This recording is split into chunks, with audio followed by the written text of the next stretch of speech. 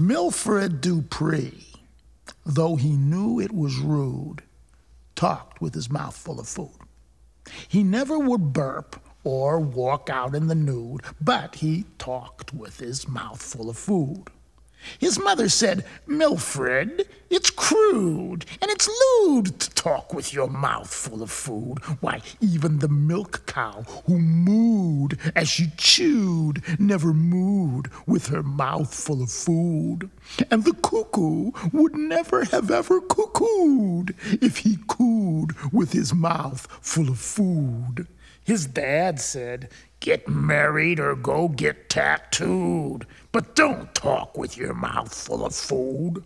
Mm-hmm. If it was a crime, you would surely get sued if you talked with your mouth full of food.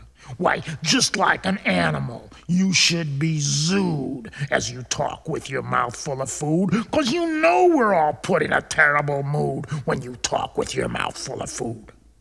They pleaded, they begged, he just giggled and chewed laughed with his mouth full of food.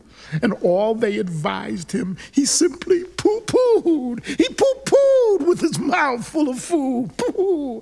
So they sent for the gluer. They had his mouth glued because he talked with his mouth full of food. And now instead of good morning, he said, a